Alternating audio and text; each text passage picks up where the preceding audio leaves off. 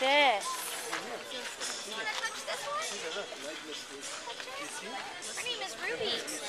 It's a legless lizard. Yeah.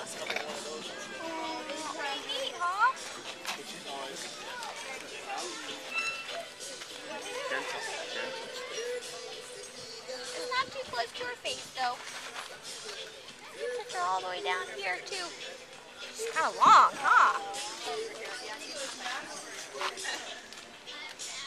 Judah, is that a snake?